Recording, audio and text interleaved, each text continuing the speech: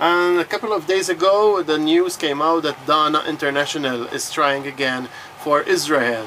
How do you like that news? JP? Well, we will, we always will compare it, of course, with D, with Diva, uh, the Diva. And uh, I did ask her actually in an interview uh, in 2008 when she wrote the Israeli song if she would come back, and she said no. Mm.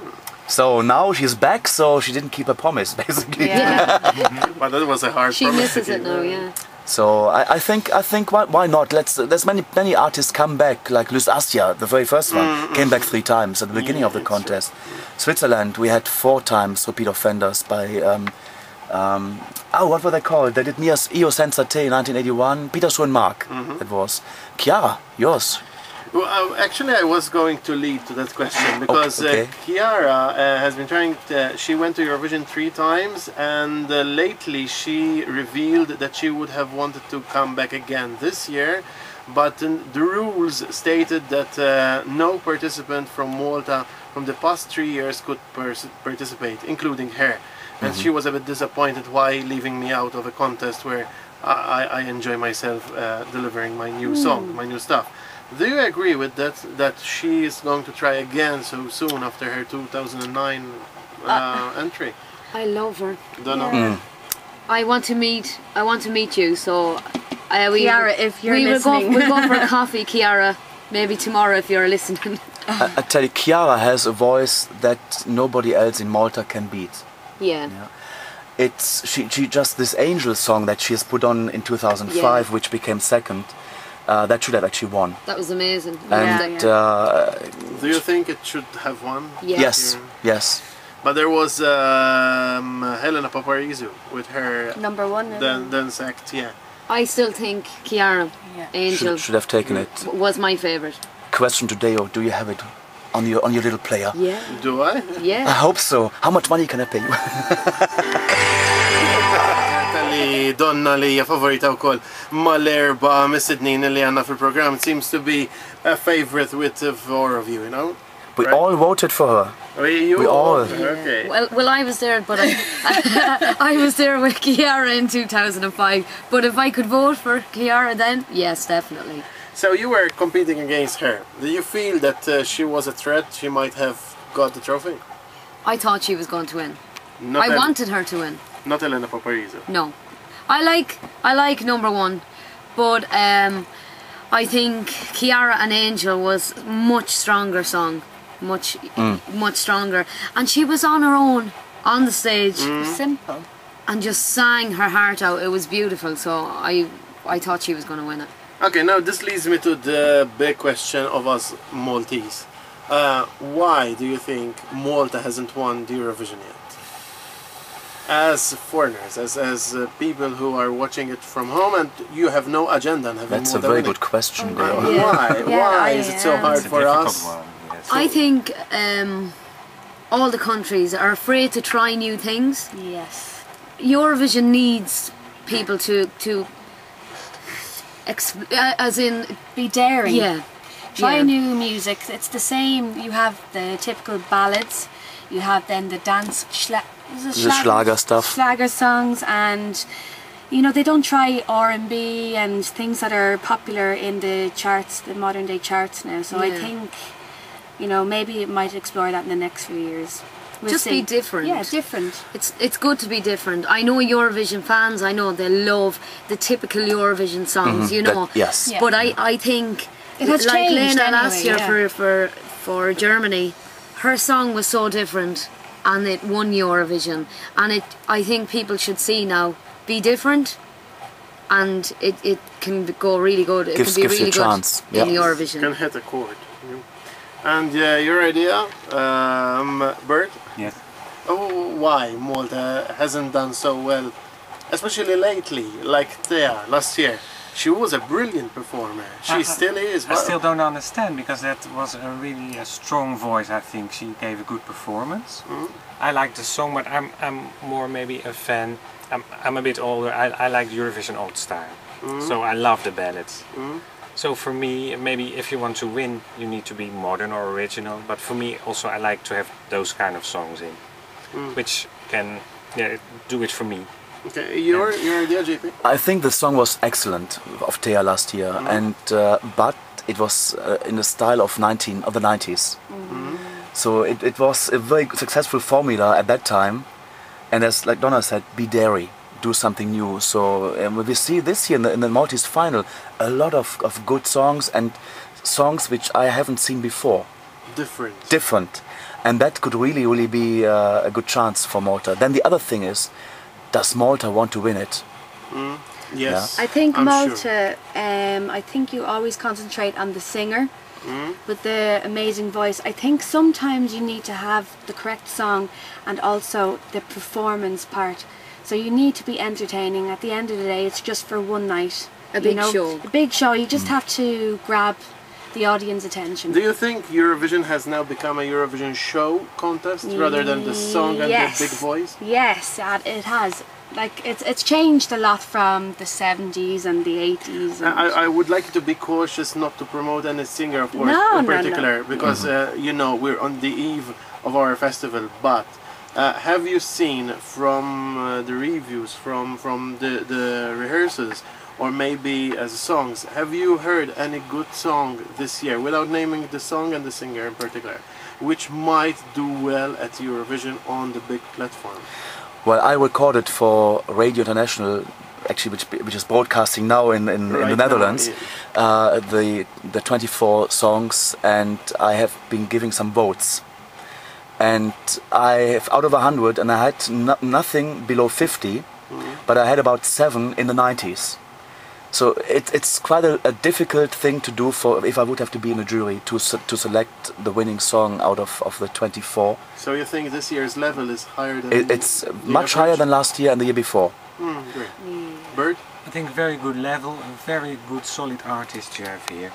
And especially keep up the good show with uh, like many songs, because that's what we lack in the Netherlands. We have like only one artist performing and only one song, and that that's so boring. Mm-hmm. I think I would be very uh, happy if we had this kind of show in the Netherlands and just the whole atmosphere around it. It's like a mini Eurovision in, it's your, in your island, and everybody is interested in it. We And even that call you it- need to uh, to continue, I think. We even call it Malta Eurovision. And that's why we Yeah. come over here to, uh, to, to hear that. And Lorraine, I know that you're competing or try or uh, still waiting for Yes, news I'm from waiting. Azerbaijan. Yes, yes. You've put a song there, Yes. which we of course are keeping our fingers Thank crossed for you, you. Thank you very much. Mm, uh, like you came to Malta, maybe we come to Azerbaijan to support you. We need a holiday, don't we? we will do. Um, tell us something about this collaboration with Azerbaijan. um, this year I was not going to write for Eurovision. I usually write for Ireland, and um, I've never gotten into the national final as such. But um, I just decided with my good friend Niall Mooney, who has written for Niamh, and also for Sinead Mulvey there in 2009. Um, we just decided to try a new sort sort of song, a new style, and we were looking at all of the national finals that were left, and Azerbaijan just caught my attention. So we just decided to go, and you know, we'll see. Yeah, no, Neil, Neil, Neil, wow. Niall. Niall, I keep calling him Neil. Uh, he's competing also in the Maltese. uh, Yes, yeah? yes, yes. And Jonas Gladnikoff is also competing in, uh, four or five other. Yes, he's finals. very talented man. So hello, Jonas. And we're sorry that we can't be there in Dublin because he's coming over tomorrow to Dublin. We have our national final on on Friday. So Who will win for Ireland this year? I, Oh, can we can we I, not say? I think every, everybody. We would like Nikki to win because of Yeah. Jonas, no? yes. Yeah. But Jedward are really I big. think? Jedward. Are really You know, big. and they're nice boys. You know, I don't know if it's Eurovision, but we can see. We- we- Okay, When I Anna was in Mercedes. 2005, I, c- I could not be me, as in because I was part of an act. And I want to go for uh, Eurovision for Ireland next year on my own. So, what I was thinking was, in a good way, to get back in and get the feel for it. Mm-hmm. You know, what better way to do it than to back somebody vocally and get the feel for it again and then go for Ireland next year on my own. So I'm just kind of learning again, but it's been really good and I've been enjoying a lot and learning lots over here in Malta as well. How you run your your contest as well and it's good to see that in different countries to bring back home as well. So Good. Uh, JP, do you think that um, Eurovision might go to a new country next year, to a country which hasn't won it? I wanted Yeah. it to go already last year to a different country. I want to travel away from my country. Ah, yeah. but you're living in, in Netherlands. so- yes, uh, but it's not that far away. Um, I think it will be uh, the EBU will take care of that. I would say that that we will be able to go to a different country next year. And now it's confirmed that UK will be represented by Blue. Blue, it's a very good choice. They have been very popular in the in the zeros. Uh, 2001, I think The they started Zeros, off, uh, and uh, they're still there. They're still popular, and I think it's a good choice of the BBC to send them. I just hope that the song is appealing to many many people. Mm. And they're here in Malta, aren't they? They will be on Friday. That's the just uh, from Twitter. Twitter says that they will be on on Friday here in Malta. Uh, Italy is coming back this year as part of the Big Five. So this is also raising a question here. So if Italy comes back, then we have Big Five. If they don't come back, we have Big Four. Why is Italy so precious to Eurovision? Wha- What's your opinion about it? Maybe you, Bert, you've been Well, following they have some- a good uh, musical tradition of singing their own language. I think they have a beautiful language. They have uh, the Sanremo Song Contest, of course, which is still very popular, and they have a good tradition of even experienced singers coming back there every now and then. And uh, I think that's that's a good uh, country to to have uh, back again. And it would be nice also for the contest to, to move to Southern Europe for, for a change. Maybe to Italy or maybe to Portugal, who is one of the very underestimated countries of Eurovision, I think. or to Her Malta. son.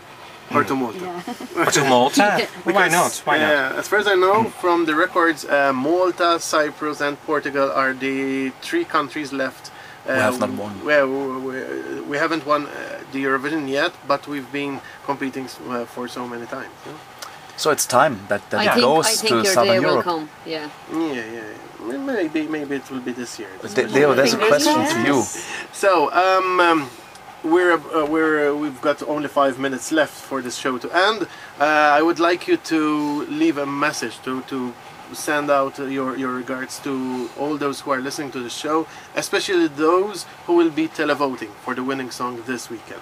Okay, let's start with JP. Well, I can only ask people to watch the Eurovision Song Contest. Don't mention any names of No. singers and titles. please. Support your favorite artists, support your international artists as well at the big Eurovision Song Contest. Make it survive. It has to live forever. Great. I would say hello to everybody in Malta and uh, uh, go and uh, watch this, the show, uh, whether you're in the, the audience or at home. Enjoy it and vote for your favorite, I think, internationally. And think internationally. That's good. Uh, Lauren. Um, I just want to say um, a big hello to everyone. Um, enjoy the Eurovision. It's it's just it's a wonderful time. It's a, hol- a public holiday really in May, isn't it? You know, um, don't be weeks. yes. ah. just try and vote for a good song and a good artist, not your next door neighbour. Oh. And uh, being in Malta, such a small country, everybody is neighbor of each other. Ah, well, you, you know, like Yeah, in know, countries. I know, I know. Your final. My final, as I said, be daring. Don't be afraid to try something new because this could be very, very good and it could win Eurovision for your country, Malta. So do vote. If if you like it and you, you, you think, oh, this is very different, I, I'm afraid to vote, go different. It can be good and it could bring back Eurovision Cup to Malta here. So hello to everyone and thank you again. Thank you. Yes. Thank you, all of you, um, being here on our show. Thanks for coming. Enjoy your stay in Malta. And hopefully, uh, you'll be, of course, assisting to a big festival this weekend. I'm sure you'll enjoy it. Okay, grazie ħafna l-kom istemija li kontu għedin tisimaw dan il-program u koll program differenti naturalment lejliet il-festival tal-Malta Eurovision dis sena provajna namlu xoġa differenti u koll buħut mill-mistednin barranin li għanna f'pajizna u koll isegwu l-festival appuntu bħala fans u koll tal-Eurovision. ħanan u bil-kanzunetta On Again of Again li għazlunna u kol bħala kanzunetta oħra favorita taħħom u kol Bert għalinna eh, li kienet l-ewel darba tijaw u kol fl-udjenza. Grazie għafna lejli tajib minna uftiti uħar u kol ninaqdu ma' One News. Well done!